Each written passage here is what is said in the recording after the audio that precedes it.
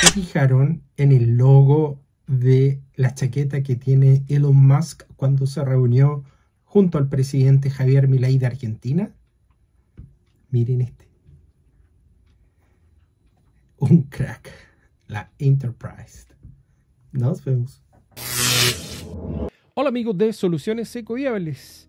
Bueno, hoy vamos a hablar de un tema que está poniéndose en tabla en casi todos los noticieros que hablan de la reunión que tuvo Javier Milei, el presidente de Argentina, con el empresario y magnate Elon Musk. Ustedes se preguntarán, ¿qué está pasando? ¿Se va a instalar Tesla en Argentina? Esto y otros temas de economía en base a lo que es la industria de la electromovilidad,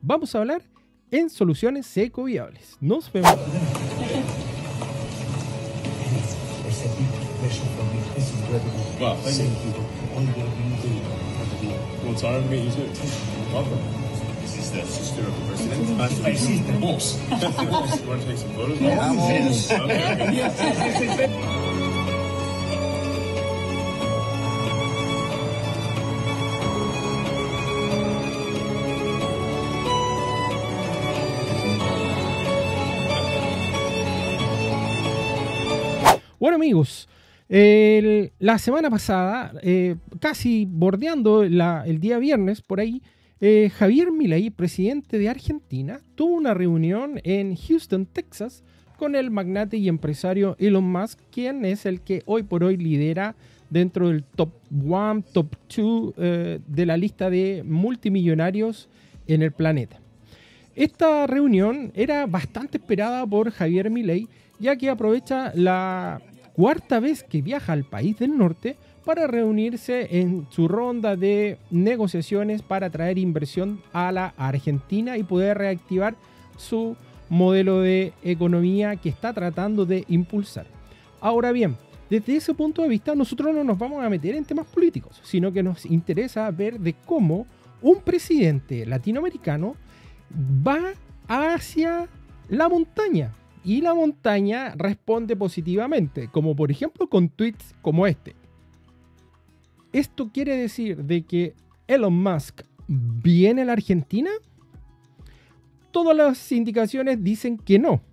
¿Por qué? Porque el modelo económico argentino estos últimos 30 años está absolutamente enclaustrado, lo que hace tremendamente difícil de que cualquier empresa o mega empresa vaya a instalarse por un tema de aranceles. Y la otra cosa, el costo de fabricación que tiene hoy por hoy la Argentina en materia de tecnología es tremendamente alto. Esto no lo digo yo, sino que lo dicen todos los indicadores económicos y también analistas políticos y económicos que hoy por hoy están hablando de este tema.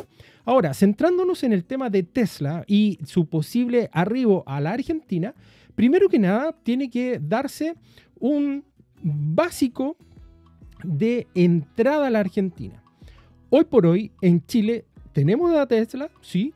La semana pasada llegamos y compartimos con ustedes en exclusiva eh, las primeras imágenes de los primeros cargamentos de vehículos Tesla que llegaron a nuestro país, a Chile. Y eh, el modelo de economía está funcionando. En Chile el libre mercado está haciendo su trabajo, que es el modelo que se potenció estos últimos 35-40 años. Desde ese punto de vista, cuando hablamos de el arribo de la electromovilidad a la Argentina, un tema ya lo hablamos la semana pasada, en donde veíamos de que una cosa es el abastecimiento de energía que pueda tener la, la Argentina hoy, que es en base a energías negras y provenientes del carbón, del gas y del petróleo, para hacer un proceso de inyección al tema de la electromovilidad. Pero por otra parte, también tenemos de que Argentina es parte de este trío en América que tiene los yacimientos más grandes de eh, litio eh, del planeta. Por lo tanto, después de Australia, Bolivia, Chile, viene Argentina, lo que lo hace un socio tremendamente estratégico pensando en el abastecimiento de materia prima para el desarrollo de la industria de la electromovilidad y pensando también en la línea y marcas de lujo como lo es Tesla. Por lo tanto, este primer encuentro que tiene Javier Milei con Elon Musk apunta principalmente a abrir ventanas.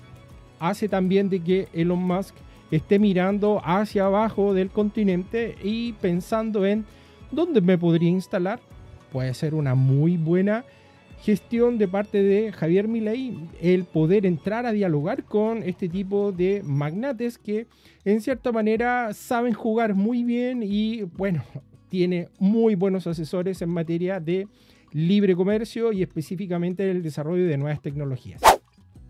Ahora, lo que planteábamos la semana pasada, ¿será posible de que en la Argentina se instale realmente una planta de Elon Musk y que a lo mejor lo que está tratando de hacer en México se pueda replicar acá en Sudamérica y específicamente en la Argentina? Hay aspectos de la economía argentina que hacen pensar de que puede abrirse una cierta ventana para ir paulatinamente instalando el modelo de producción que Elon Musk tiene para con la empresa Tesla. Pero acá hay otros temas que están asociados también al modelo de desarrollo que tiene hoy por hoy la Argentina, que es, por ejemplo, los amarres que tiene el Mercosur. El Mercosur también es un freno potente que tiene la economía argentina porque no le permite avanzar más allá de la cota de mercado que el Mercosur le puso a la Argentina. Ese es un tema que tienen que resolverlo. Dos, es un modelo económico absolutamente cerrado y centrado principalmente en un mercado interno. Así como Chile se diversificó y hizo más de 150 tratados de libre comercio, siendo un tercio de lo que es la economía argentina, Chile está lanzado potencialmente al mercado y tenemos muchos acuerdos y por eso los precios hoy por hoy son muy convenientes en materia de bienes y servicios en Chile.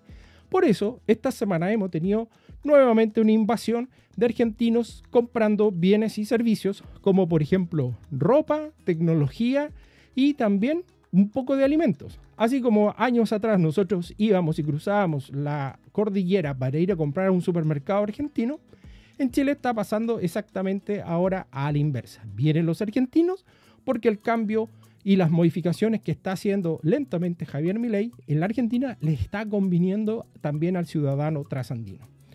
El chileno que dice, vengan, vengan, porque eso nos conviene a nosotros, dinamizar nuestra economía y que haya flujo, intercambio, y eso es tremendamente positivo. A diferencia de lo que hacía Argentina. Hasta el año pasado nos ponían restricciones, un chileno no podía ir a comprar fácilmente a un supermercado, te ponían una cota de tres o cuatro eh, eh, por ejemplo, productos en un supermercado y eso limitaba el desarrollo y el intercambio comercial. El flujo de dólares también. Llegaron a tener más de seis tipos de dólares. Eso es una locura en un modelo de desarrollo económico. Y dentro de ese entorno económico también está el tema social. Traer inversión a la Argentina hoy por hoy es tremendamente caro. ¿Por qué? Porque están amarrados a políticas que no permiten la libertad y desarrollo económico de lo que es la industria hoy por hoy, de la industria de los automóviles y especialmente la industria de la electromovilidad en el país trasandino. La reunión fue a puertas cerradas, solo ellos dos pudieron hablar y conversar, pero me imagino de que como gran admirador también mutuamente entre ambas partes, entre eh, el señor Musk y también el presidente Milley, eh, tienen que haber llegado tal vez a algunos acuerdos y yo creo que alguna sorpresa va a llegar a la Argentina. No creo que haya sido como cortesía. Por otra parte, también el magnate invitó a conocer también a toda la delegación argentina a eh, conocer la planta que está en Austin, Texas, para que vean de cómo eh, Tesla está trabajando. Hay, eh, digamos, conocimiento público de que Tesla en la planta de Alemania fabrica un auto, un modelo Tesla cada un minuto. Eso es lo que demora desde que se realiza el corte de los metales hasta que sale afuera. Por lo tanto, desde ese punto de vista, esta reunión es una primera instancia para que es probable de que empiecen a trabajarse algunos aspectos de cómo podría aterrizar Tesla hacia el país trasandino, nuestro vecino. Eh, la reunión fue bastante eh, amena, disfrutaron mucho y Javier Milei hace un hito. Es el primer presidente en manejar una Silvertruck Tesla del mundo. Y eso es un aviso para todos los presidentes que están en contra del desarrollo del modelo económico, eh, va en contra de todos los modelos económicos que hoy frenan la libertad del libre comercio. Elon Musk es archiconocido también en ese aspecto de eh, ser una persona que eh, lleva como al extremo hoy por hoy su pensamiento en materia económica, como por ejemplo los problemas que tiene hoy por hoy en Brasil. Un juez federal está prohibiendo y demandaron en Brasil a Elon Musk porque Elon Musk a través de su cuenta X, ex Twitter, cerró o clausuró algunas cuentas de algunos políticos y jueces importantes en el Brasil. Así de, determinante puede ser personas que influyen en el planeta con el poder que tiene en cuanto a desarrollo tecnológico y económico como lo es Elon Musk. Por lo tanto, desde ese punto de vista, lo que hace Javier Milei también es un mensaje para todos los presidentes que están, entre comillas, dentro del cono sur y que son pro modelo socialista en donde el Estado debe ser el que regula y maneja absolutamente todo. Los resultados están a la vista. Bueno amigos, este video llega hasta acá me alegro, pero un montón de que Javier Milei haya podido encontrarse con Elon Musk, ya que aparte de ser un personaje, abre la posibilidad de empezar a dialogar y conversar y presentar un poco eh, lo que quiere hacer eh, en Argentina, que es un tremendo país con mucho desarrollo tecnológico también a pequeña escala. Ellos tienen un modelo eh, de electromovilidad impulsado hace mucho tiempo, a partir del año 93. Hay un representante argentino que es Carlos Puga, el profesor magíster en educación, que ha sido un promotor, pero tremendamente importante del desarrollo de la electromovilidad en Argentina. Gracias a él y el equipo que trabaja, eh, junto a él han podido posibilitar el desarrollo eh, de la electromovilidad, no solamente a nivel universitario, sino que también a nivel de colegios y a nivel técnico.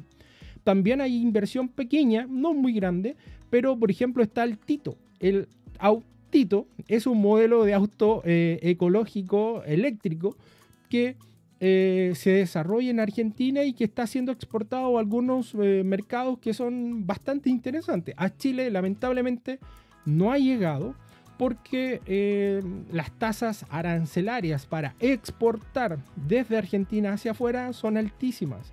Y eso es una tremenda traba para el desarrollo de Argentina. Por otra parte, también hay una industria incipiente que está empezando a trabajar el tema del litio en cuanto a la minería. Tienen que ver ahí qué es lo que van a hacer, una política fuerte en cuanto al desarrollo de eh, la minería del litio tienen que hacerla sí o sí y de manera transversal para que se haga una aposta, venga gobierno rojo, azul, amarillo, da lo mismo, pero el camino es uno solo, que es un poco la fórmula que ha hecho Chile a lo largo de estos últimos 30 o 40 años. Regálanos un like, ya que de esta manera nos permite también llegar a más personas y YouTube muestra la información que estamos compartiendo con ustedes eh, a muchas otras más personas. Comenta, ¿eres argentino? ¿Crees que Tesla va a llegar a Argentina realmente? Esperamos ver tus comentarios. Y por supuesto, suscríbete a el mejor canal de YouTube en materia de electromovilidad, de energías renovables y también en materia de medio ambiente, que es soluciones ecoviables. Acá siempre vamos a dejar el icono para que tú te vayas y te suscribas activa también la campanita. Yo no sé dónde está la campanita, si está por acá abajo o está por aquí, no me acuerdo bien. Pero la idea es que te puedas pinchar ahí donde está la campanita para que YouTube te avise cada vez que nosotros subimos un video. Por tu tiempo te doy las gracias. Buenos días, buenas tardes y buenas noches. Y los dejo al presidente Javier Milei manejando una Silver Truck. Nos vemos. Chao.